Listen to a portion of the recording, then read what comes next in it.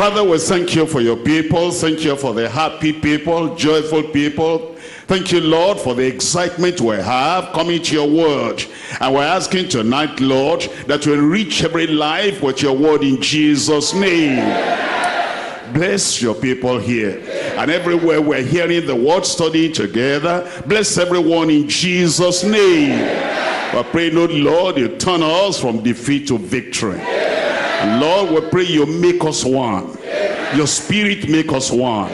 Your grace make us one. Your power make us one. And we go on together united. We're going to succeed in Jesus' name.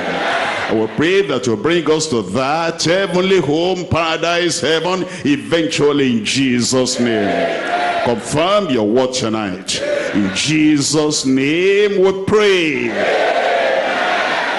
We're coming to John chapter 17. In John chapter 17, we're learning tonight from verse 20 all through to verse 26. John chapter 17, reading from verse 20.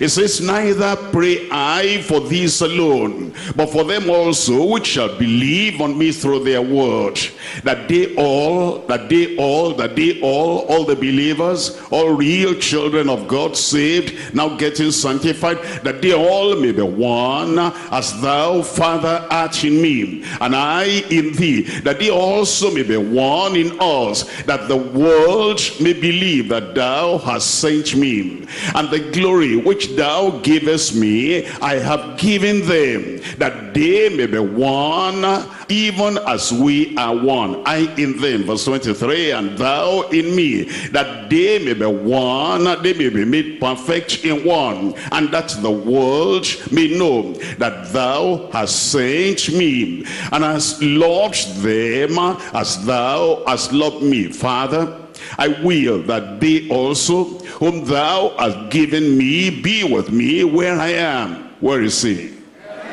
Where are you going? Well, be there in Jesus' name. That they may behold my glory, which thou hast given me. For thou lovest me before the foundation of the world, O righteous Father. The world has not known thee, but I have known thee. And these have known that thou hast sent me.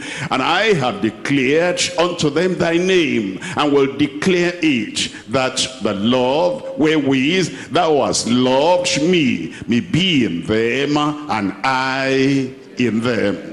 As you look at those uh, verses, you see verse 20 it says, neither pray for these alone. What does that mean? He was praying, look at verse 9. In verse 9, I pray for them. I pray not for the world, but for them which thou hast given me, for they are thine. He was praying for his immediate disciples, those who are before him. And now, at the end of that prayer, praying for their sanctification, praying for the second work of grace in their hearts he said, I'm not just praying for these 12 alone. I'm not praying for these immediate disciples alone. I am praying for other people. I'm praying for those who will hear my word through them and believe me through them and get saved through them. That means he was praying for all the Christians, all the believers that will come after that time. And then he goes on to say that he was praying so that when they were sanctified in verse 21, that they all may be one. What he meant by that is they all, the believers of that time and the believers of this time, the believers of the first century and the believers of every century that followed, that they all may be one. Those foundational believers and those of us who are coming in at this final age of the time, it says that they may all be one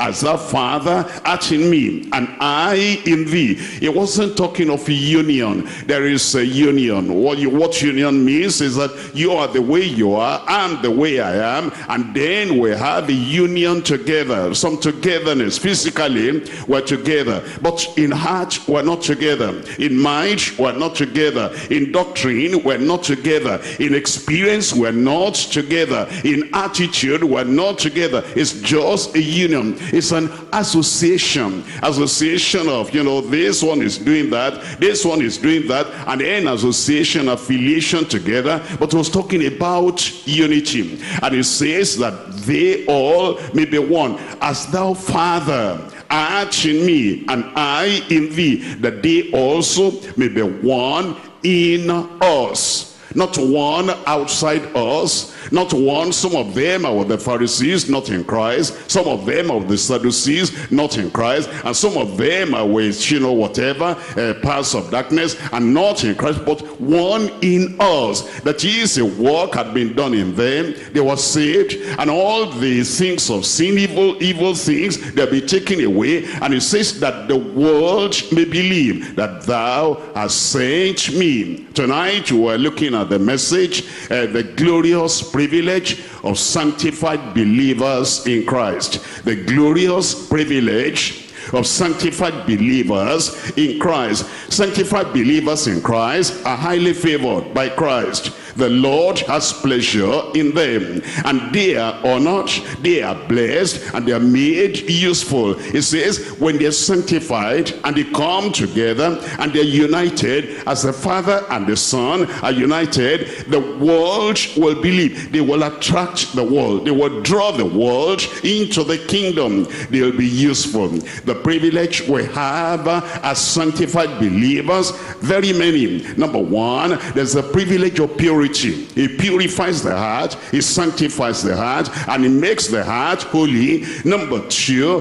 there is the priestly prayer. That is, is our high priest, and because we belong to him, the privilege we have is that he prays for us as our high priest. Not only that, number three, there's partnership. Now, because we agree together, we're united together. There is this partnership with the Lord. Number four, there is a preference. He prefers his people. He loves the fellowship of his people. He thinks about us first. In fact, the Bible calls us the bride of Christ. And as the husband will think about the wife, the first person in his life that will think about the same thing Christ thinks about the believers. And especially when we're sanctified, there is a preference for us Number five, there is protection. He says, I've kept them when I was with them. Now, Holy Father, keep them from evil. And now he prays for our sanctification. And then number six, there is progress because he says, through them, the world will come into the kingdom. And the work of God will prosper in our hands like the work is going to prosper in your hand. And then eventually there is paradise. Look at look at verse 24 there. In verse 24 it says, Father, I will, I desire, I want, and I want this, I decree, that they also, whom thou hast given me, be with me where I am, that they may behold my glory, which thou hast given me, for thou loved me before the foundation of the world. See what Jesus Christ was doing? He was lifting us up he was raising us up and he wanted us to have a great privilege. Jesus Christ, our Lord, Jesus Christ, our Savior, Jesus Christ, our sanctifier, prayed and made adequate provision for the sanctification of all believers who had been saved. There is first of all salvation. In fact, he told his own disciples, all those 70 when they returned, he said, rejoice not because the evil spirits are subject unto you, but rejoice because your names are written in heaven. Not only that, he sent them out to go and preach repentance. He couldn't have sent them out to go and preach repentance if they had not repented. These ones were already saved. He said, they're not of the world, even as I am not of the world. But then he prayed for another thing now saved there's still something more. Converted there's still something more. Born again there's still something more. Your name in the book of life in heaven there's still something more and that's what we're looking at. He prayed for their sanctification. It's an experience of the christian life subsequent to salvation. Salvation is the foundation salvation is the force. and then there is sanctification a second work of grace. What does that do? It brings a deeper inner humility. When somebody is sanctified, there's a deep humility and meekness within him. Not only that, it brings a deeper inner holiness. There, there is holiness when you are born again. All the things you were doing before that were not right, you have turned away from them, but now you are sanctified, and from the inside, there's a deeper holiness. And there is honesty. Honesty. You see, when you are sanctified, dishonesty will not have any shade and any size in your life at all. There's humility. There is holiness. There is uh, there is a honesty. There's a happier home when you're sanctified. Show me a sanctified husband, a sanctified wife living together. There'll be unity among them. There'll be happiness. There'll be peace between them. They'll not be thinking of you know I'm going to pack out. I'm going to divorce. I'm going to do this and that. No. When sanctification comes, it removes all those things that smell of Adamic nature. There's a happier home. There's a higher honor. Higher honor. Heaven honors you and the people who know your life, they respect you because they can see the transparency there. There's heaven-mindedness, heavenly mindedness. What is sanctification? Because you're seeking things above now, not things on earth. You want to impress heaven. You want to please heaven. You want to please the Almighty God. And then there is heavenly hope when there is sanctification. Because they say follow peace with all men and holiness without which no man shall see the Lord. And because, you know, by the grace of God you are saved, by the grace of God you are sanctified. When you hear of the rapture, you are not afraid. When you hear of death, you are not afraid. You know, sudden death will be sudden glory. And that if Jesus will come at any time, your hope is in heaven. And because of that heavenly hope, you're always happy and joyful. As we look at the passage we're looking at today, it's in John chapter 17, from verse 20 to verse 26, the glorious privilege of sanctified believers in Christ. There are three parts we're going to uh, deal with as we look at this passage. Number one, the pattern of unity for the sanctified bride. The pattern of unity for the sanctified bride. Point number two, the purpose and usefulness of sanctified believers. You are going to be more useful the purpose and the usefulness of sanctified believers. Point number three, the potentials and uniqueness of sanctified brethren. The potentials and the uniqueness of sanctified brethren. We come to point number one. In point number one, the pattern of unity for the sanctified bride. We're coming to John chapter 17. John chapter 17. We're reading from verses 20 to 22. Verses 20 to 22. Neither pray I for these alone, but for them also which shall believe on me through their word. The question is, what name can you give to those people? Look at the disciples of Christ before him and look at all the people who are going to believe after they give us the word. And God has chosen them. He used Matthew, wrote uh, Matthew and wrote somebody wrote Mark and then Luke wrote Luke and Acts of the Apostles and John and then Paul wrote the Romans and then all the other epistles through them and through what they had written we have come to believe on the Lord Jesus Christ. You know the name we're given, we're the bride. We're the bride of Christ. We're the wife of Christ. And the wife of Christ, he wants the body to be united. He wants the bride to be united. And look at this in Second Corinthians chapter 11. Second Corinthians chapter 11, the way he refers to us as a united body.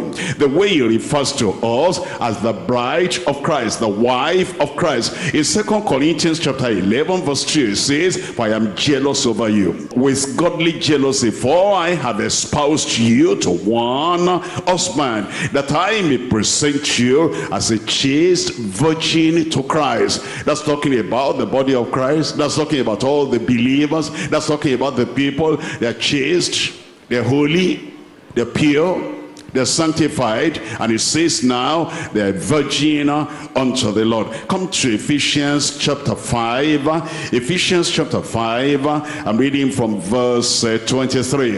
Ephesians chapter 5, reading from verse 23, talking about the church, talking about the bride.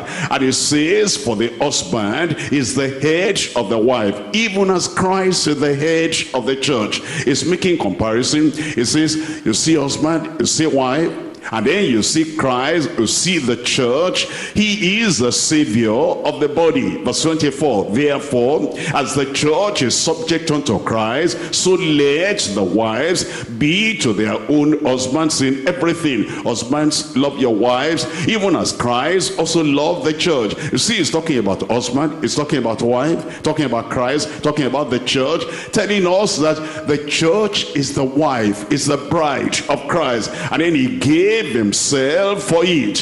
Why did he give himself for the church? Verse 26, that he might tell me, sanctify, sanctify, and cleanse it already is the bride of Christ. Already is brought to Christ. Already he is saved. But now even after that salvation Christ gave himself for the church that he might sanctify and cleanse it with the washing of water by the word that he might present it to himself. Not an ordinary church not a denominational church, not a traditional church, not a ritualistic church. He might present it to himself. What kind of church? A glorious church. What does that mean? Not having spot, not having wrinkle or any such thing, but that it should be holy and without blemish. Look at verse 32. This is a great mystery, but I speak concerning Christ and the church. We'll come to Revelation chapter 19. Revelation chapter 19 talking about the church talking about the believers all together as a congregation, all together as an assembly. And he tells us in chapter 19, uh, Revelation chapter 19 verse 7, let us be glad and rejoice and give honor to him. For the marriage of the Lamb is come, and his wife that's a bride. I pray you'll be there. You'll be part of this. Because he saves. If you are saved, I rejoice with you already. He sanctifies. If you are sanctified, I rejoice with you. You are not there. If you are not yet saved, thank God tonight salvation has come. If you are saved and you are waiting for sanctification, tonight is the night. He'll purify, sanctify you, make you holy in Jesus' name. It says, look at look at verse uh, look at verse 8. It says to her was granted that she should be arrayed in fine linen, clean and white. For the fine linen is the righteousness of the saints. This point one, the pattern of unity for the sanctified bride. Uh, come back to John chapter 17. John chapter 17. There are three things we see here. Number one, the pattern. Number two, the picture. Number three, the power. Number one, the pattern of the unity of the Son with the Father. The pattern. What pattern are we going to look at? When he talks about unity. When he says, look at chapter 17, John chapter 17. I'm reading now from verse 21. John chapter 17, verse 21. It says that they all may be one what pattern are we going to follow? If we're going to be all one, look at the pattern. As thou, Father, art in me and I in thee. That's the pattern between the Son and the Father. The pattern that Jesus Christ has led for us is say that the Father in him and he in the father that they also may be one in us. Then he goes on. Look at verse 22 and the glory which thou givest me i have given them that they may be one even as we are one. That's the pattern. Even as we are one. When you think about believers believers in a local assembly one as Christ and the Father are one. Believers in the whole of the church, like deeper life, one, just one, united together as the Son and the Father are united. And the real believers in all denominations, the same heart, the same mind, the same doctrine, the same goal, the same pursuit, the same heaven, the same destiny, that they all may be one as the Son and the Father are one. That's the pattern. Look at verse 23. I in them and thou in me, that they may be made perfect in one, that the world may know that thou hast sent me and hast loved them as thou hast loved me. Uh, let's look at that pattern very well. The pattern of unity, the pattern of unity of the Son and the Father. Look at John chapter 5 verse 30. John chapter 5 verse 13 it says I can of my own self do nothing. As I hear I judge and my judgment is just because I seek not my own will but the will of the Father which has sent me. That's the unity between the Son and the Father. No argument between Christ and the Father. And there's uh, no insubordination between Christ and the Father. As the Father desires, and the Father demands, so he did. And so he always does. And he says, I seek not my own will. Self-will is cancelled when we're sanctified because the pattern the Lord has left us is that of Christ and the Father. We're coming to John chapter 8 verse 28 John chapter 8 verse 28 it says then said Jesus unto them when ye have lifted up the Son of Man then shall ye know that I am he and that I do nothing of myself but as my father has taught me I speak these things. That's the unity between Jesus and the father. As the father taught him so he did. As the father said what to do that's what he did. Well he is the son of god. He is even god himself and yet and is being from all eternity and his name shall be called wonderful. His name shall be called counselor. He knows the word of god. In fact the pharisees were saying ah, how knowest this man the scripture so much like this? Have been never learned? And yet even with all he knew he could have been independent. He could have said i know what to do. I don't need my father to be telling me this and that. And this we're being together for all eternity. No. The unity we're talking about the pattern is a pattern of christ and the father. And it says look at verse 29 and he that sent me is with me. The father has not left me alone for i do always i do how often? I do, I said how often?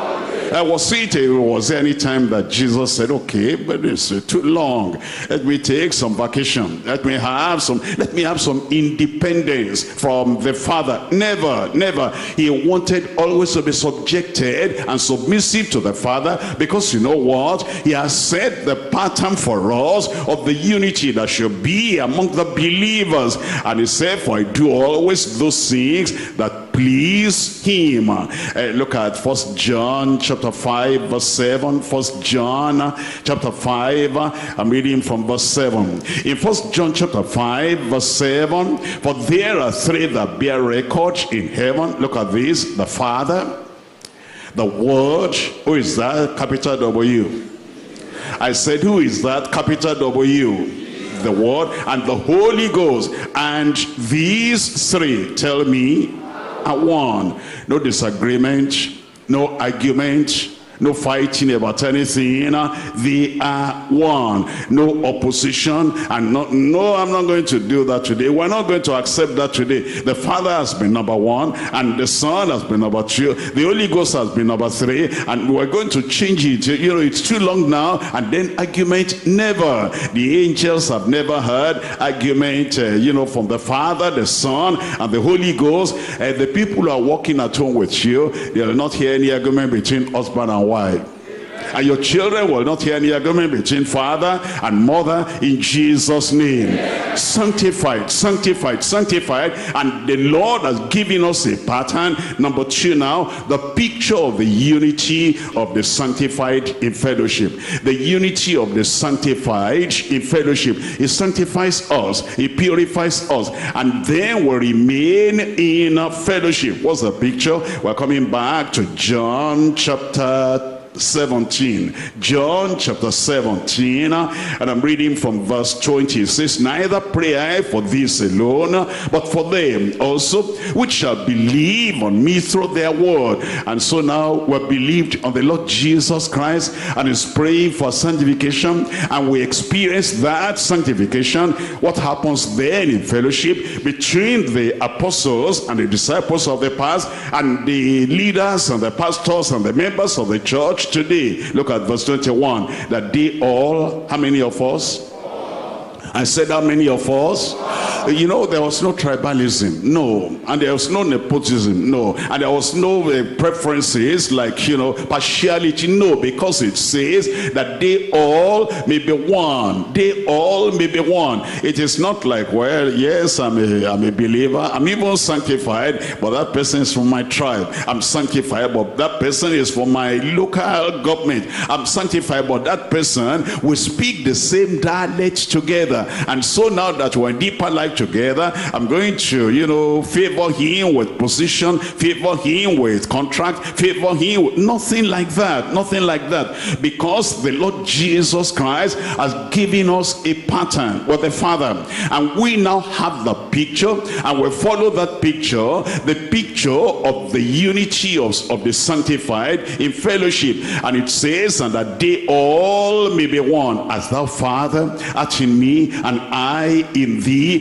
that they also may be one in us, that the world may believe that thou hast sent me. And the glory which thou givest me, I have given them, that they may be, tell me, one even as we are one even as we are one i in them and thou in me. And it says that they may be made perfect in one that the world may know that thou hast sent me and hast loved them as thou hast loved me. Hey, look at the picture now. Acts of the apostles chapter 4 verse 32 acts of the apostles chapter 4 and i'm reading from verse 32 those early believers see how they did it and see how they brought out the picture and see how they followed the pattern see how the lord helped them. It says in acts of the apostle chapter 4 and verse 32 and the multitude of them that believed were tell me of one heart and what? Of one soul? No argument among them. No argument among us. No disagreement among us no conflict among us. Uh, some people are not saying amen. Anybody wanting to fight another believer there?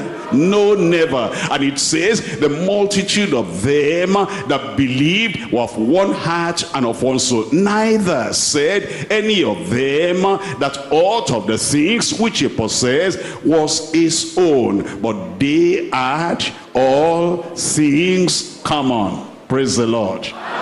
I said, praise the Lord. That love will reign in our midst. That unity will reign in our midst. And that picture of unity of the sanctified in fellowship we will see in every local church and in the whole church in Jesus' name.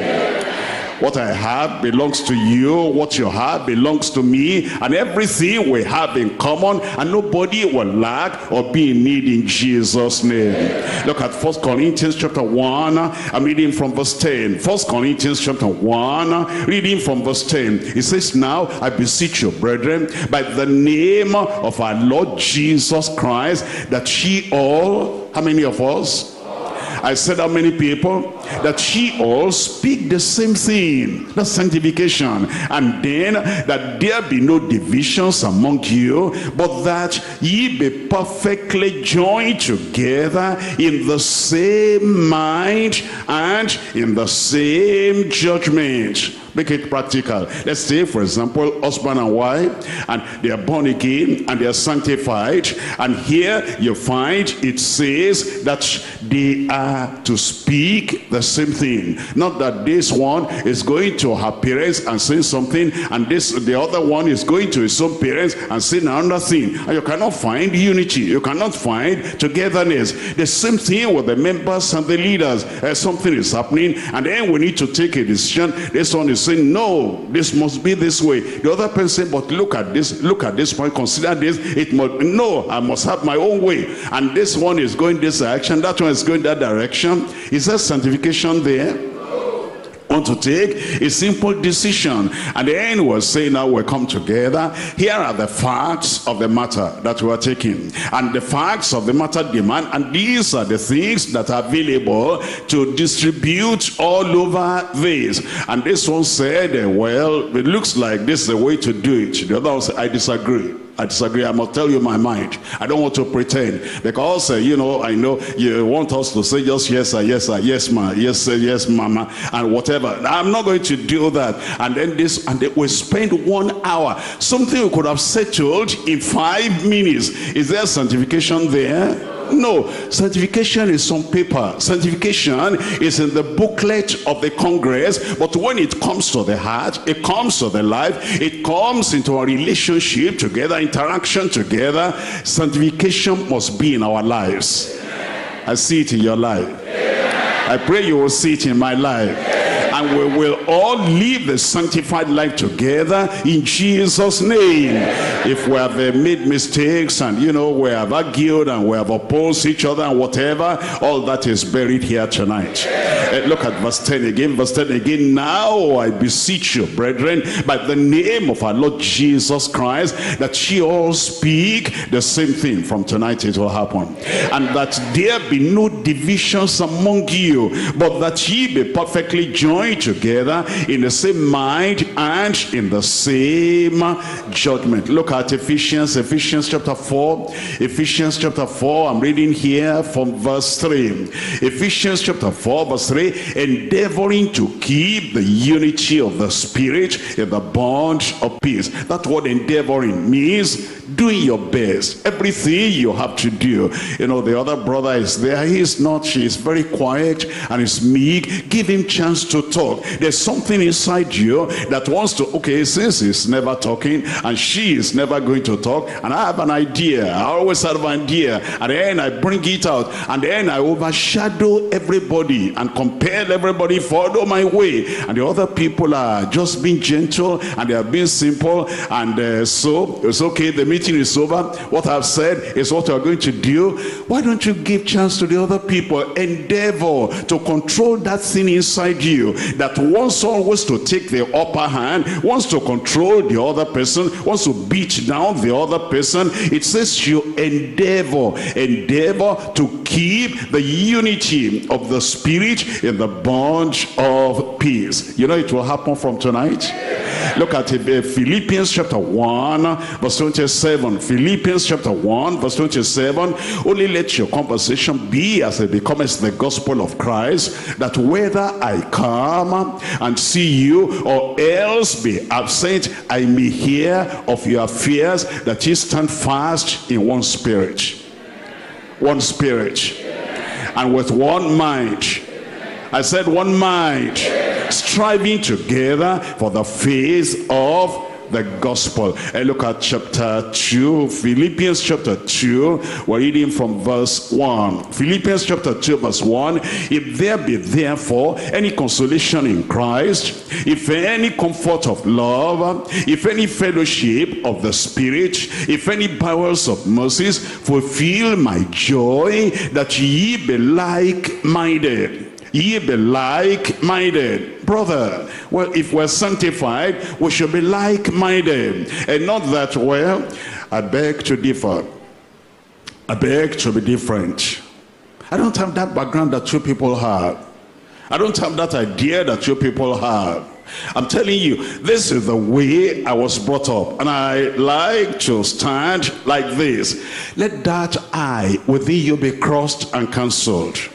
So that it says you fulfill the joy of the Lord and will be like-minded. Look up here. When you have yam, this yam here, this yam there, this yam there, of different sizes. And then you boil the yam. And you want to prepare pounded yam. You like it?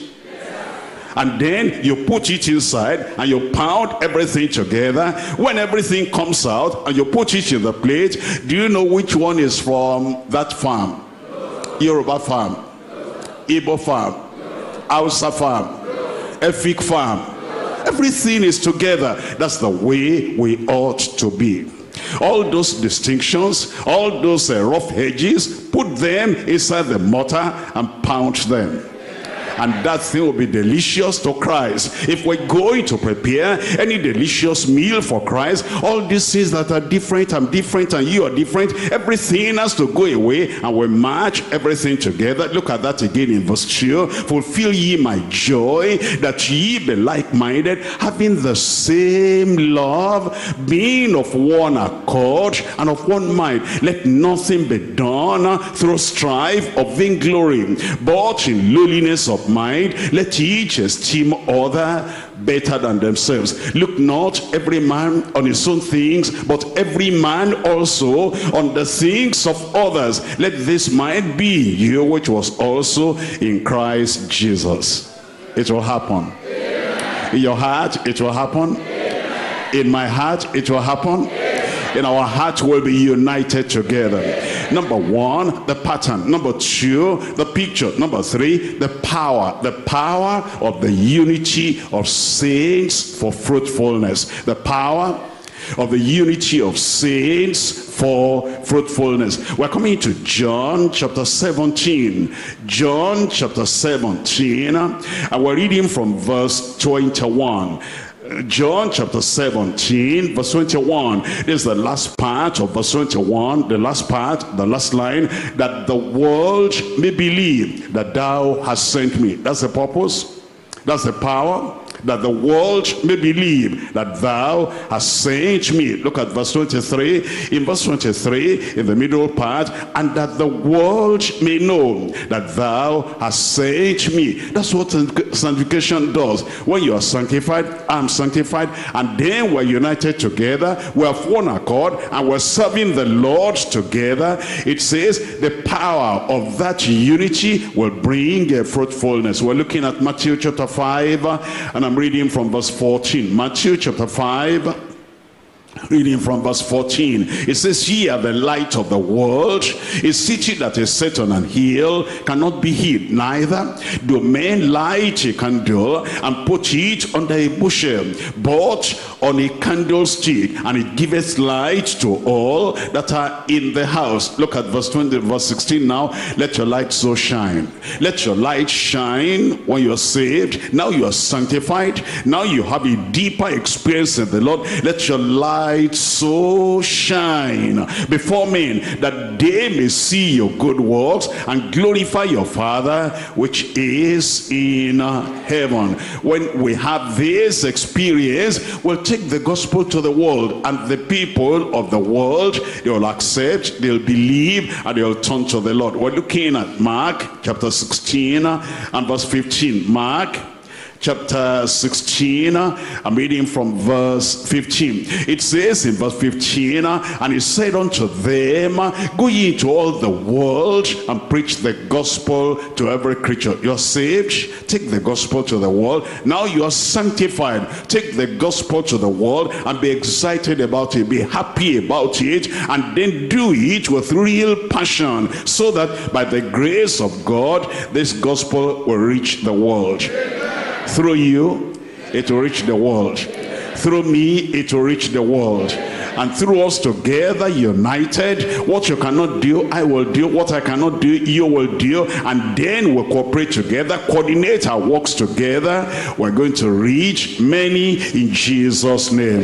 It tells us in second corinthians chapter 5 second corinthians chapter 5 i'm reading from verse 19 second corinthians chapter 5 verse 19 to which That is to say that God was in Christ reconciling the world unto himself. Reconciling the world unto himself. How is he going to reconcile the world unto himself? By sanctified witnesses, by sanctified soul winners, by sanctified members of the church, by sanctified a bride of the Lamb. It says reconciling the world unto himself, not imputing their trespasses unto them, and has committed unto us. Are you part of this? Has committed unto us the word of reconciliation. The sanctification, as we have seen from the word of God, is uh, it gives us unity. What kind of unity? Number one, purifying unity. Now that we're united together and we're doing some defiling, dirty, foolish things. No, purifying unity. Number two is a pleasant kind of unity. Pleasant unity. It pleases the Father, it pleases heaven, and it is pleasant and peaceful. Number three, prevailing unity. Whatever we're discussing and whatever we're trying to take a decision, a conclusion on, as you give preference to the other person in honor preferring the other, unity will prevail in our midst. Number one, I said, is purifying unity. Number two is uh, pleasant unity. Number three is prevailing unity. Number four, peaceful unity. Outsiders will not come and settle quarrel for us. I said that the landlord will not be settling quarrels for our members. Look at deeper life member. Look at another deeper life member. And they're living in the same place. And then the landlord will say, ah, you say you are deeper life and you are fighting like this. You can't choose the same kitchen together. You can't choose the same bathroom together. What's the matter with you? I don't go to deeper life, but you know, I hear of deeper life that they teach holiness there. Is this the holiness they're teaching you there? That will not happen again peaceful unity then productive unity a kind of a unity that will bear fruit. Your local church will grow I said your local church will grow. Because you see, as the local pastor there is preaching and the singers are singing and the other workers are also contributing their own part and everybody, they're encouraging the newcomers and they're witnessing. Everybody's uh, the local pastor saying, yes, we're going to go this way. Everybody's saying, yes, we're going to go. When that unity is there, it will be productive unity. Then it will be profitable unity. Profitable unity. It's not not a kind of a unity that will say, what is the result and where is the goal? What the words unity, unity, unity. Where is the product? It's going to be a profitable unity. It's a persevering unity. No matter the storm, no matter the whatever is happening, we will persevere in that unity. That brother was uh, with our church before. What happens? Well, you know, there was a kind of a problem and then he went away and it's good. Let him go. Let him go because uh, really when he was here, well, all the time again and all that, that's not persevering unity. Somebody will run after him. Somebody will run after her and then will bring her back. Okay, we're sorry. We didn't listen to you. We're sorry. We went astray this way. Forgive us and then we forgive you and our unity will be persevering in Jesus' name. It's a permanent unity, not temporary unity. It's a unity that is there and it is permanent. We saw it last week. We're seeing it this week again. And then I see it now. When I come back to you again, I'll see that uh, permanent unity in your life in Jesus' name. Your family will not scatter. Your wife will not leave you. Your husband will not leave you if there's anything we have not settled before tonight, when you get back home, don't do it in the open. Don't wash your dirty clothes in the open. Don't uh, spread them there. Don't let us know anything. All I know is that you and your wife, you are united. All I know is that you and your husband, you are united. And whatever little roughages we need to straighten out, uh, you know, when you go back home in the private and say, I listened today and I heard what, uh, you know, we're teaching the word of God. I'm sorry for this. That other one will say, I was also thinking about you. I'm sorry. And then uh, we're going to have persuasive unity. Persuasive unity. And that unity will be permanent in our fellowship, in our families, in Jesus' name. We come to point number two now. Is the purpose and the usefulness of sanctified believers. The purpose and the usefulness of sanctified believers. You are going to be useful. Coming to John chapter 17. John chapter 17. I'm reading from verse 23 and verse 24. John chapter 17 verse 23. I in them and thou in me that they may be made perfect in one that the world may know that thou hast sent me and hast loved them as thou hast loved me. Look at that. Look at the kind of unity Jesus was praying for and said there's a purpose for that. A purpose for this kind of unity that they'll be made perfect in one. Not only that, that the world may know that thou hast sent me and that the world will know that you have loved them even as you have loved me. Father, Father, it says in verse, uh, in verse 24, I will that they also whom thou hast given me will be will be with me you'll be with the lord where i am that then behold my glory which thou hast given me. For thou loved me before the foundation of the world. Uh, look at uh, john chapter 14 uh, reading from verse 10 john chapter 14 uh, we're reading from verse 10 in john chapter 14 verse 10 it says believest thou that I am in the Father and the Father in me. He was uh, trying telling the disciples, he said, look at this unity and look at what I've been doing. It's because I've been united with the Father. The words that I speak unto you, I speak not of myself, but the Father that dwelleth in me. He doeth the works. It's a purposeful unity with the Father that the work he was given to do, it was done well. It was done credit profitably. It was done profitably. Look at verse 23 of that same chapter. It's that's chapter 14, verse 23. Jesus answered and said unto him, If a man love me, he will keep my words, and the Father will love him, and we, the Father and the Son, we, the Father and the Son Christ, and the Almighty God, we will come unto him and make our abode with him. If there's no disagreeable spirit inside you, if there's no conflict inside you, he said, myself and my father, the father and the son will come into you and make our abode with you. The Almighty will live inside you his power will live inside you. High about, high about the Holy Ghost. Look at uh, Romans chapter 8. Romans chapter 8. And I'm reading from verse 11. Romans chapter 8 verse 11. It says, But if the spirit of him that raised up Jesus from the dead dwell in you. Already Jesus said, the Father will dwell in you. And then Jesus the Son will dwell in you. Here comes now the third personality of the Trinity. And it says, the spirit that raised up Jesus from the dead dwell in you. That he that raised up Christ from the dead shall also quicken your mortal body by spirit that dwelleth in you. I pray it will happen. Look at First John, First John chapter 4, First John chapter 4, and we're reading from verse 12. He lives inside us. He abides inside us. We're looking at First John chapter 4, verse 12. It says, No man has seen God at any time. If ye love one another, God dwelleth in us. If you love one another, God dwelleth in us. Look up here. You know, if, uh, for example, now there is a smoke.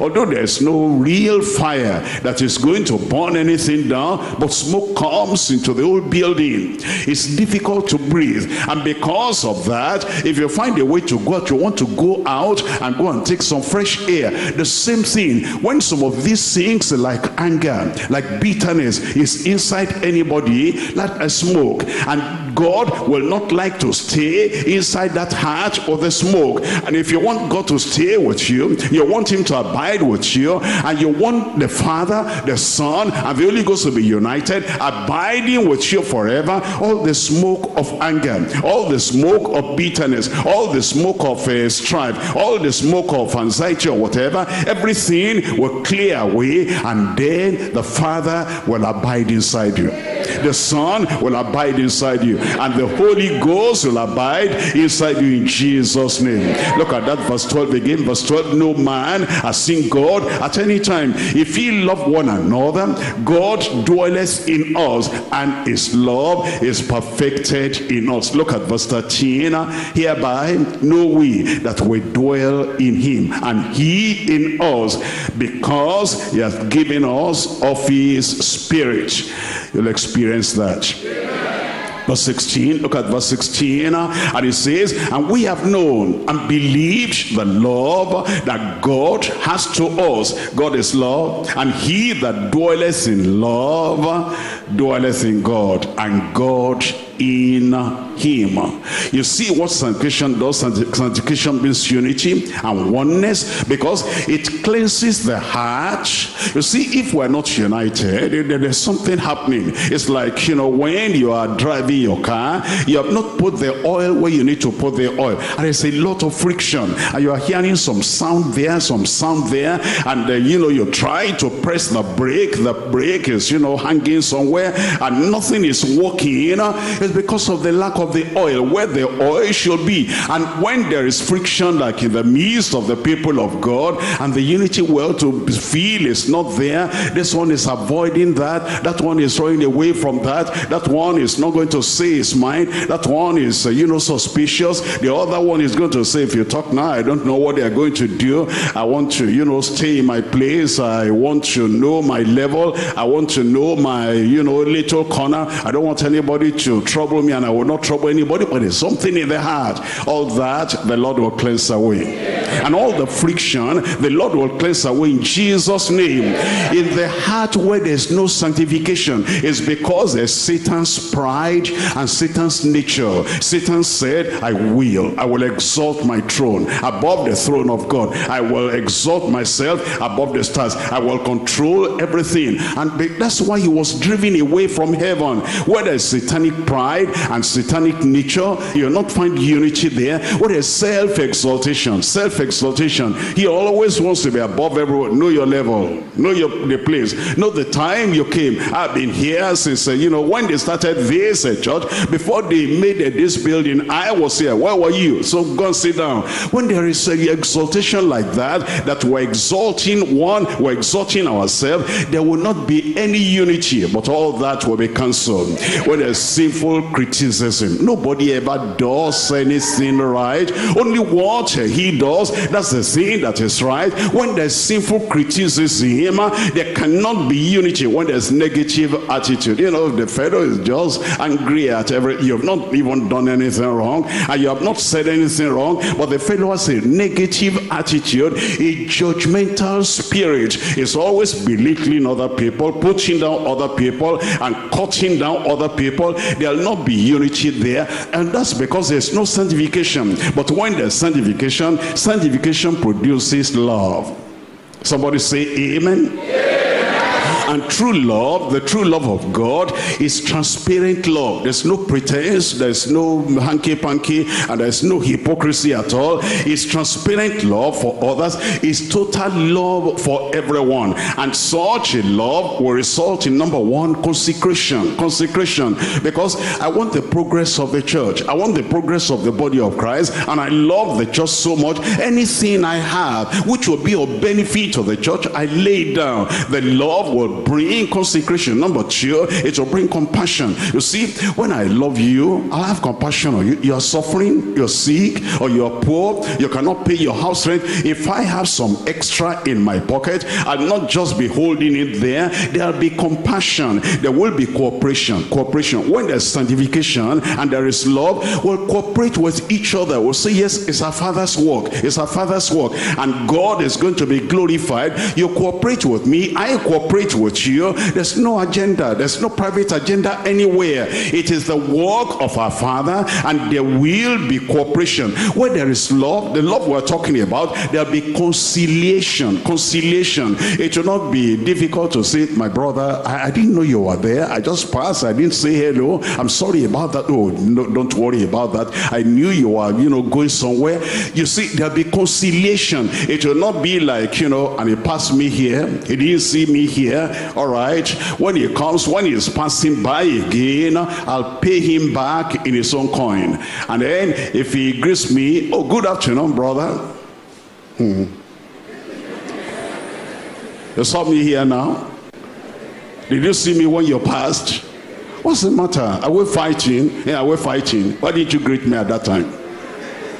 Conciliation when there is sanctification. Somebody give me a good amen there will be condescension condescension. You know you will lower yourself for the other person. If you are tall you don't want us to be you know looking up there looking up there. You bend down so we can look at each other face to face. There will be condescension. There'll be compliance compliance. You will comply. We said we're going to go this way. You comply. We're going to do that. We comply because there's sanctification. And then there'll be clear cleansed and concerned conscience in a place where there's sanctification, number one, there's no conflict. No conflict. There's sanctification, there's no conflict. Number two, there's no contradiction. Contradiction. There are some people, they just like to contradict. Somebody says something, who is that?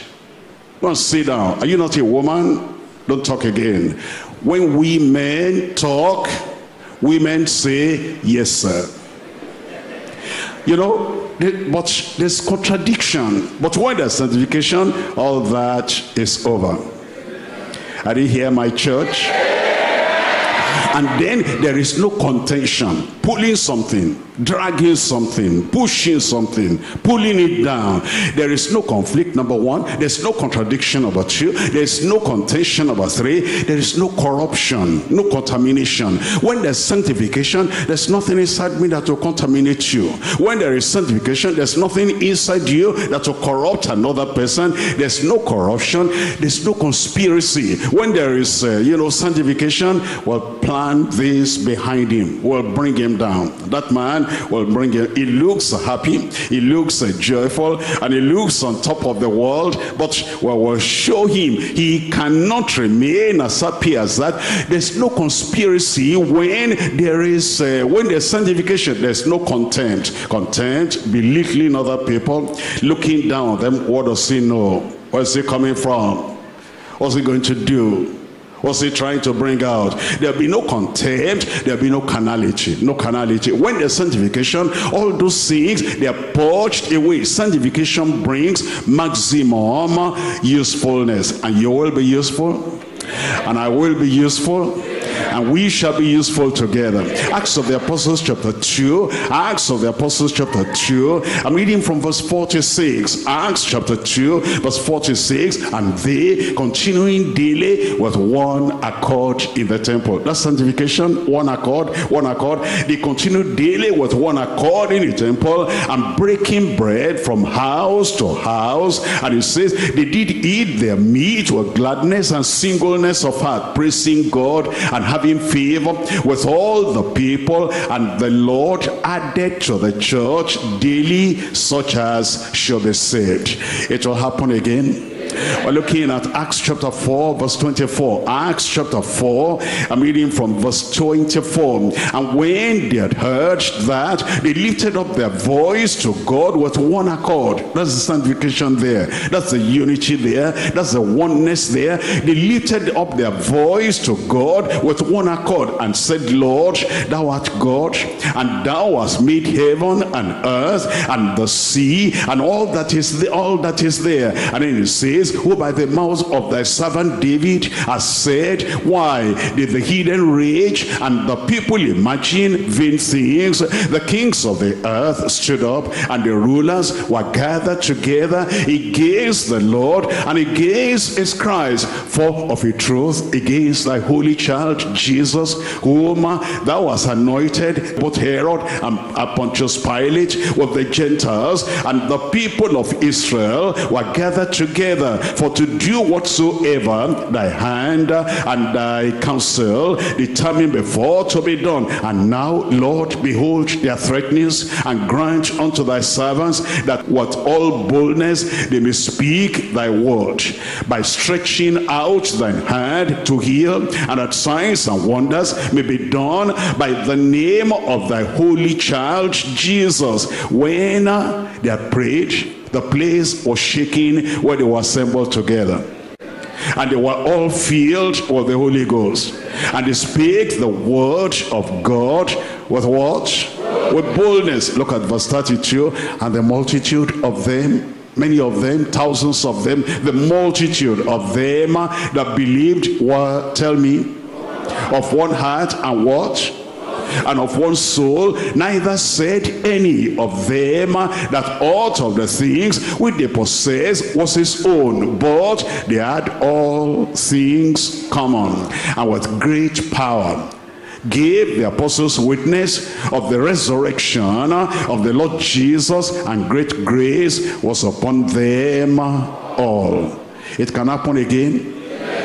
It will happen again Look at chapter 5. Chapter 5. We're looking at chapter 5. I'm reading from verse 12. Chapter 5, verse 12. It says, And by the hand of the apostles were many signs and wonders wrought among the people. That time has come back.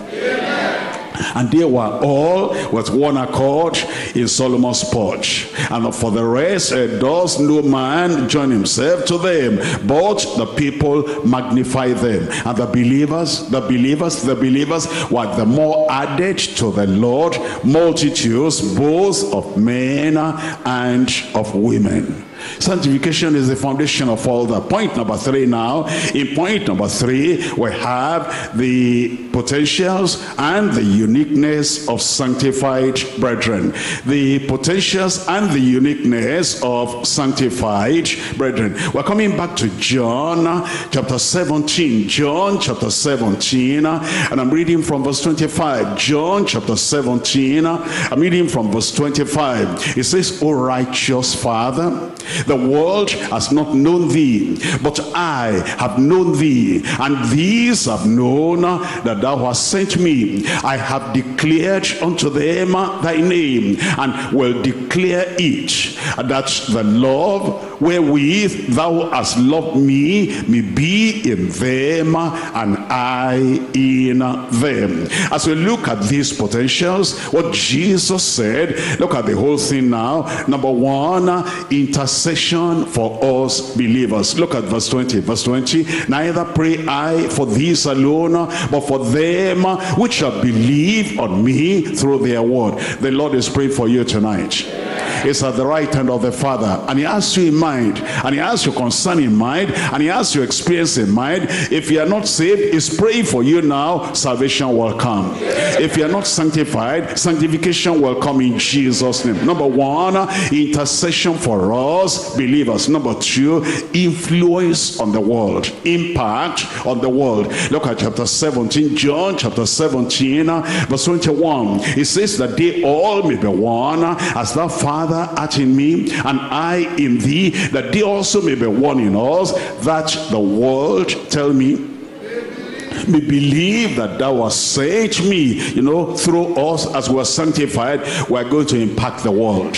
We're going to influence the world. And many from the world, they're going to come in Jesus' name. Number three now, look at verse 22. And the glory which thou givest me, I have given them, that they may be one, even as we are one, indwelt by his glory. Indwelt by his glory. Darkness will vanish away from you. Glory will come into you. Light will come unto you. And as you look at christ more and more you'll be changed from one glory to another glory in jesus name indwelt by glory. Look at uh, the next verse. We're looking at uh, verse 23 i in them and thou in me that they may be made perfect in one and that the world may know that thou hast sent me and hast loved them as thou hast loved me. That is we're infused by the Godhead, infused by the Godhead. He dwells inside us. He abides inside us. He remains inside us. And great power will be manifested even through your life in Jesus' name. Look at number five in verse 24. Verse 24, the Father, I will that they also whom thou hast given me may be with me. You'll be with the Lord where I am is go to heaven and it says in my father's house are many mansions. If it weren't so I would have told you. I go to prepare a place for somebody there. For who? You'll be in heaven. Is preparing a place for you. And you pray to the father sanctify them so that they will see my glory. And where i am they will be also. I will be there that they may behold my glory, which thou hast given me, and for thou lovest me before the foundation of the world. That's inheritance in heaven. Inheritance in heaven. You have an inheritance there. You will get there. I said you'll get there. I know you are writing. You write with the hand, you answer with the mouth. I said you will get there. Uh, look at look at this. We're looking at uh, verse 25 now. Inspired information and revelation. The kind of revelation that these people had, and only these people had, and the world did not have. a said, righteous Father." We're looking at verse 25. Righteous Father, the world has not known thee, but I have known thee. And uh, it says, "And these have known that thou have sent me." They had knowledge that other people did not have. Revelation that other people did not have. They had information that other people did not have. Look at uh, verse 26 and verse 26. And I have declared unto them thy name and will declare thy name and will declare it. And then it says that the love wherewith thou hast loved me may be in them and I in them. Identical love for sanctified, selfless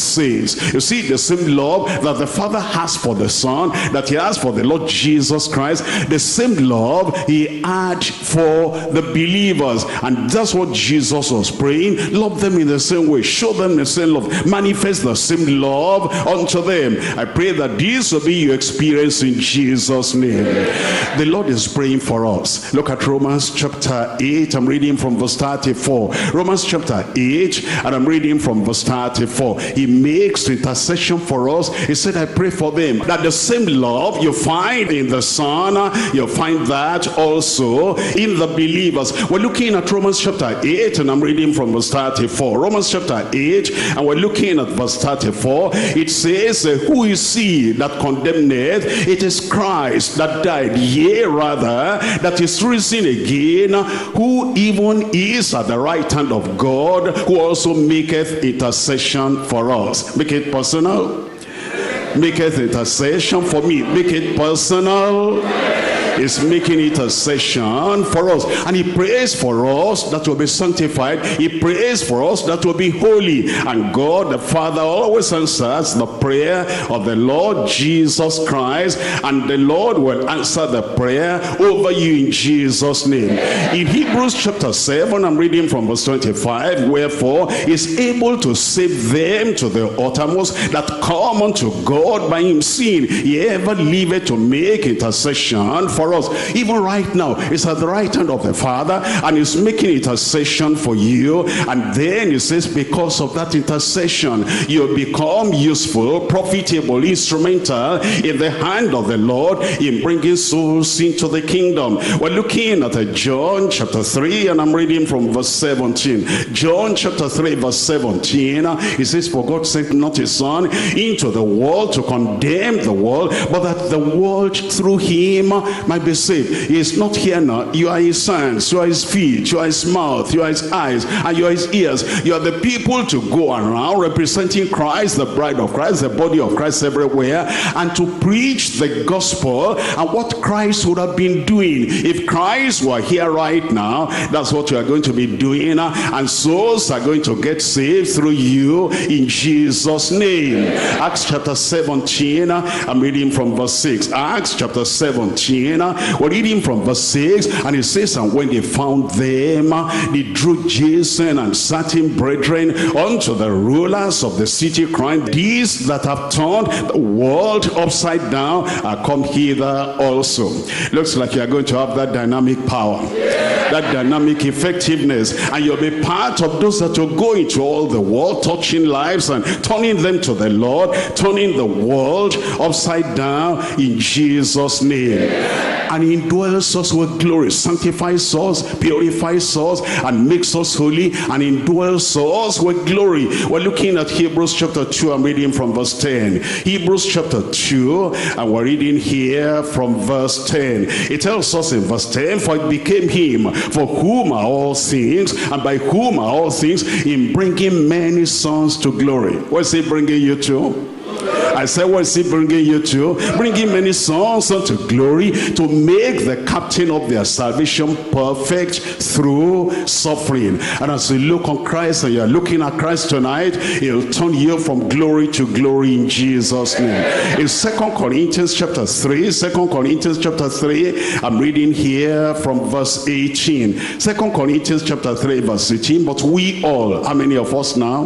But we all with open face behold beholding as in a glass the glory of the Lord are changed into the same image from glory to glory even as by the Spirit of the Lord. And now we're indwelt by the Lord by the Father by the Son and by the Holy Ghost. He dwells within us. It tells us in first John first John reading from chapter 4 first John reading from chapter 4 and reading from verse 12 it says no man has seen God at any time. If we love one another, God dwelleth in us and his love is perfected in us. He'll dwell in you. And you know Satan and God cannot be in the same place at the same time. If God is there, Satan is out. Demons are out Evil powers are out. Principalities and powers are out. Look at verse 13. Verse 13. Hereby know we that we dwell in him and he in us. He in us. He in us. Because he has given us of his spirit. And then he says, heaven is for you.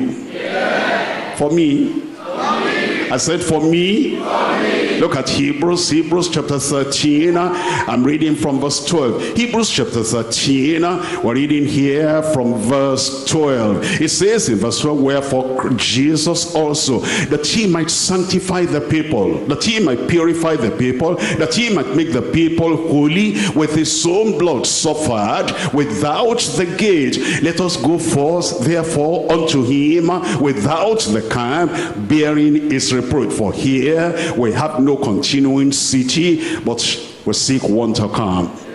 Are you looking for that city? I said, are you looking for that city? Well, be there in First Peter chapter 1, reading from verse 3. First Peter chapter 1, reading from verse 3. Blessed be the God and Father of our Lord Jesus Christ, which according to his abundant mercy has uh, begotten us again unto a lively hope by the resurrection of Jesus Christ from the dead to an inheritance incorruptible, undefiled, and that fadeth not away reserved in heaven for you who are kept are you part of this? Who are kept by the power of God through faith unto salvation, ready to be revealed in the last time. In the last time. He will reveal that in Jesus' name. Then he says that those disciples had something, they knew something that ordinary people, the people on the street and people in their synagogues did not know. He's giving us real revelation and information and impartation from heaven. It tells us in Matthew chapter 11 verse 27.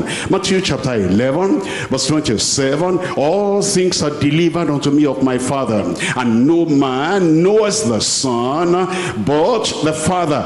Neither know knoweth any man the Father save except the Son, and he to whomsoever the Son will reveal him. He'll reveal him to you today. You'll never be the same again. I'll never be the same again. He gives us also identical love as we become selfless sanctified, and we're able to lay everything on the altar. He grants us love like he loved the Father. In John chapter 15, John chapter 15, we're reading from verse 9. John chapter 15, verse 9. As the Father has loved me, so have I loved you. Continue ye in my love. You'll continue chapter 14 verse 20 chapter 14 verse 20 at that day shall ye know that I am in the Father and ye in me and I in you Galatians chapter 2 reading from verse 20 I am crucified with Christ it will happen Nevertheless, I live, yet not I, but Christ liveth in me. Where is Christ? I say, where is Christ? He is Savior. If he lives in us, he'll totally separate us from sin uh, and save us from sin and cleanse us from sin and set us free from sin. He is sanctifier. If he lives inside us, he sanctifies us, he purifies us, he makes us righteous and holy, ready for heaven. And he says, I'm crucified with Christ. Nevertheless, I live, yet not I, but Christ liveth in me. And the life which I now live, is this talking about you? And the life which I now live in the flesh, I live by the faith of the Son of God. Tell me, who loved me and gave himself for me who loved me and gave himself for me. Tonight, it will be fulfilled more and more in Jesus' name. Tonight, we have seen the pattern of unity. Tonight, we have seen the picture of unity. Tonight, we have seen the power of unity. We have seen the purpose and the usefulness of the unity of sanctified brethren and the bride of Christ. And we have seen the potentials and the uniqueness of those sanctified brethren. And it's now for us to pray it in, to make it happen, so that the knowledge will not just be in our head, it will not just be in our mind, it will not just be on paper, it will not just be in the Bible, it will be transferred into our hearts. And as we tell the Lord that everything I've heard today, everything I've learned today, everything I've read today in the Word of God, I want it inside my heart, it is going to happen. The Lord is praying for you already. And as you join your prayer to the prayer of the Lord Jesus Christ, if you need salvation, he'll save you. So if you need forgiveness, he'll forgive you. If you need restoration, he will restore you. He loves you. He doesn't want you to continue in that condition. If you need sanctification, that's his specialty. He will purify your heart tonight in Jesus' name. Let's rise up. Let's rise up and really, really, really pray unto the Lord and tell the Lord tonight, oh Lord, here am I. Oh Lord, here am I. Let it be done in my heart. Let it be done in my heart. He prayed and provided for your sanctification. He prayed and provided for your purity of heart. He wants to do it right there. He wants to do it right there. And he wants to bring the unity, the unity, unity with the Father, unity with the Son, and unity with the body of Christ. Open your mouth and tell the Lord, when you have this sanctification, there'll be deeper humility. When you have this sanctification, there'll be deeper holiness. When you have this sanctification, there'll be deeper honesty, transparency in your life. A happier home, a happier family, there'll be higher honor, there'll be heavenly mindedness, and there'll be heavenly hope. Tell the Lord, tell the Lord, he wants to do it. He wants to do it. You must be able to say, that was the day when I was sanctified. That was the time, the hour when I was sanctified. That was the study that brought me into sanctification, into the holiness experience. He wants to do it right there. He wants to do it right there. If you tell the Lord, he answers prayer, he answers prayer. You lay everything upon the altar. You consecrate everything. You give everything unto him. You say, Lord, nothing reserved and no reservation. I lay everything on the altar. I want you to touch my heart, transform my heart, and I want you to sanctify my spirit. Do it, Lord. He will do it. He will do it. He delights in sanctifying his own people. He will do it for you. He'll do it for you. And then he'll bring the result in your life. There'll be unity. Unity with God, unity with Christ, and unity with the word of God, unity with the doctrine. There'll be unity with the people people of God. You tell the Lord, tell the Lord, do it for me, Lord. Do it for me, Lord. And then all the disunity in your family, all the disunity in your community, all the disunity in your yard. You don't see eye to eye with that one, eye to eye with that one, and all big I and little you, all the contempt and all the confrontation, everything will be wiped away, will be wiped away. The real sanctification experience, there'll be no anger in your heart, and there'll be no bad attitude in your life. You'll not be having conflict with other people. As the Lord sanctifies you and purifies you, he'll make you to come to the pattern, the pattern, the pattern of the Son or the Father, of the Son or the Father. You'll be a pure bride of Christ, a beautiful bride of Christ, a holy bride of Christ, a washed bride of Christ. You'll be whiter than snow, whiter than snow in your heart, whiter than snow in your mind, whiter than snow in your disposition, whiter than snow in your thoughts, whiter than snow. He'll do it. He'll do it. Call upon him. Call upon him because the blood of Jesus Christ cleanses us from all sin. Internal cleansing, internal purification. The Lord will do it. Let him do it. Let him do it. Let him do it. Tell the Lord and believe the Lord. Believe the promises of God. He has promised. He said, I'll cleanse them. I'll wash them. I'll sprinkle clean water upon them and they shall be clean. And then says, I'll take the stony heart out of their flesh and I'll give them a heart of flesh. I'll give them a heart of flesh. He can do it. He can do it. Follow peace with all men and holiness without which no man shall see the Lord. Follow peace with all men. You'll be able to do that. Sanctification assures us there'll be the peace of God and the God of peace reigning in your heart. Tell the Lord, tell the Lord, he'll give you the picture. And you begin to practice it at home. Husband and wife, unity. Parents and children, unity. Members and pastors in the church, unity. In the community, believers like you, you'll be united with them. And there'll be no conflict. Uh, believers like you, you'll be united with them. There'll be no contradiction. Believers like you, you'll be united with them. There'll be no contention. There'll be no corruption. And there'll be no conspiracy. There'll be no contempt. There'll be no carnality. And there'll be no contamination. You tell the Lord, tell the Lord, oh Lord, here am I today. Here am I today. Do it in my life. Do it in my heart. Do it in my soul. Do it in my spirit. And in the inner man, make the inner man pure. Make the inner man holy. Make the inner man whiter than snow. Let him do it. Let him do it. And then there'll be consecration. Consecration. There'll be nothing you are holding back from the Lord. There'll be consecration. You lay everything on the altar. There'll be compassion.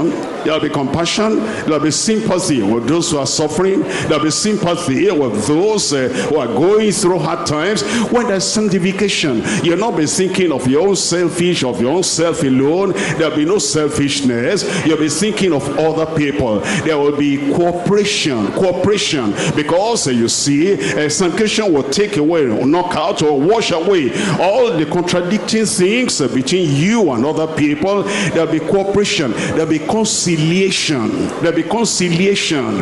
Reconciliation too. When there's real sanctification, you have love towards everything, everyone, and you have sympathy for everyone, and you have a kind of a cooperative, agreeing spirit with everyone. There'll be condescension. Condescension. You come from that ivory tower, you humble yourself, you, you belittle yourself, and you come low and you become meek when there's sanctification and there is compliance, there is a clear conscience, there is a cleansed conscience, and there's a concerned conscience. You are concerned for other people.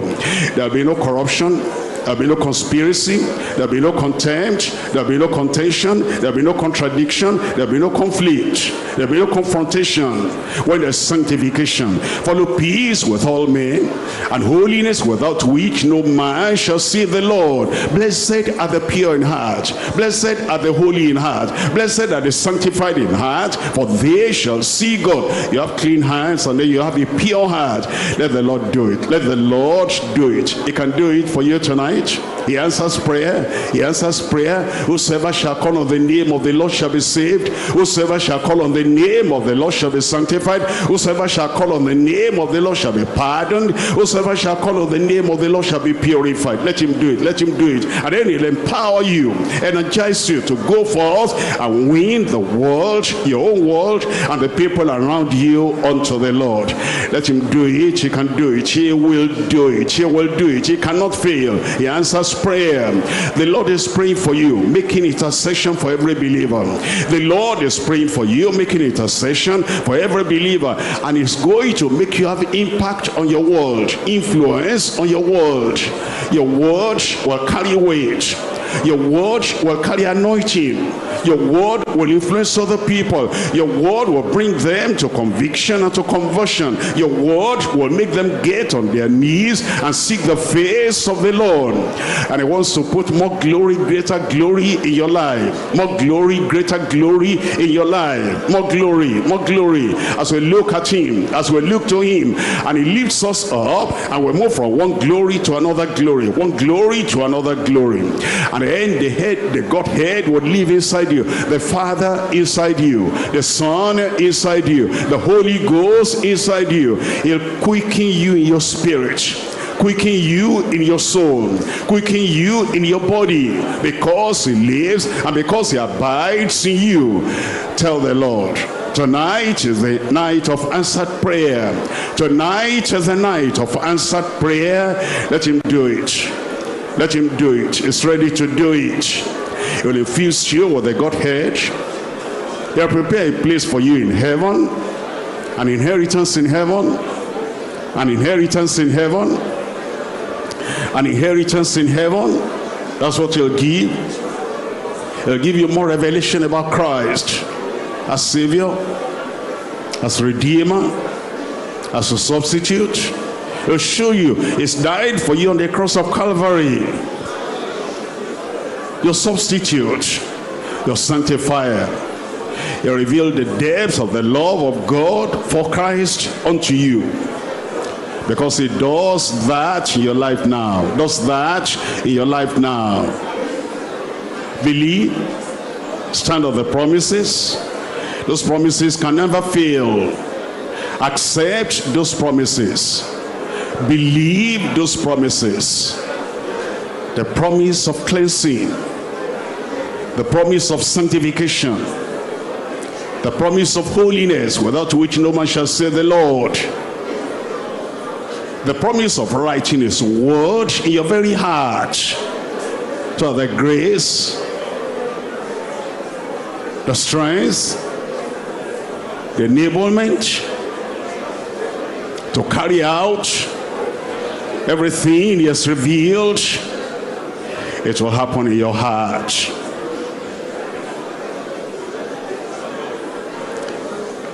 he answers prayer crucified with Christ, nevertheless I live. Yet not I, but Christ liveth in me. And the life I now live, life of holiness, the life I now live, life of sanctification, the life I now live, life of peace, the life I now live, life of love, I live by the face of the Son of God who loved me and gave himself for me. He loves you. Gave himself for you that you might be saved. That you might be sanctified, purified, made holy.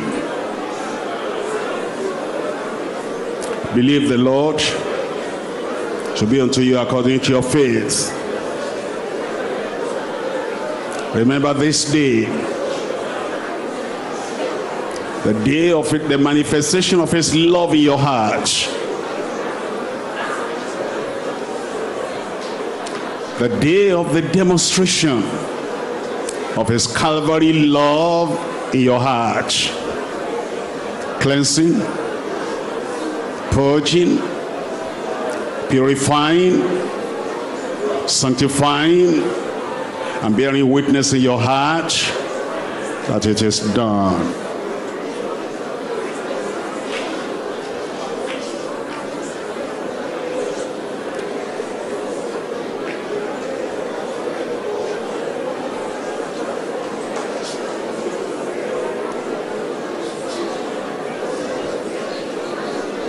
In Jesus' name we pray. And the believing people of God said, You have prayed, haven't you? The Lord has answered. I said, The Lord has answered. You see the demonstration in your life in Jesus' name. Are you ready? Father, we thank you tonight. We bless your name. We thank you for the revelation of your word. We thank you, Lord, for your people, faithful people, people who hearken to your word and people who have received your word. I pray lord every promise that you have given us and the intercession of jesus will be effective effectual in every life tonight in jesus name. Those who have confessed their sins to you lord i pray forgive them fully freely permanently in jesus name Take guilt away. Take condemnation away. And take all the doubt away from their hearts in Jesus' name.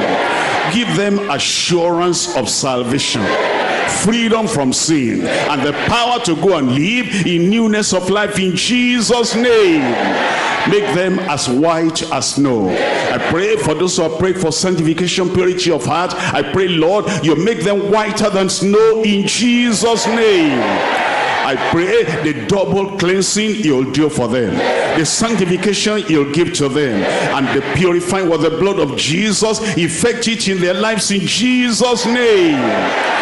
Abide inside them and give them a higher power a higher understanding, a higher revelation, a holier, deeper experience in Jesus' name in their home holiness in their heart holiness in their behavior holiness in their character holiness in their interactions holiness in the place of work holiness. Anywhere they go the holiness of Christ will beam out through them in Jesus name.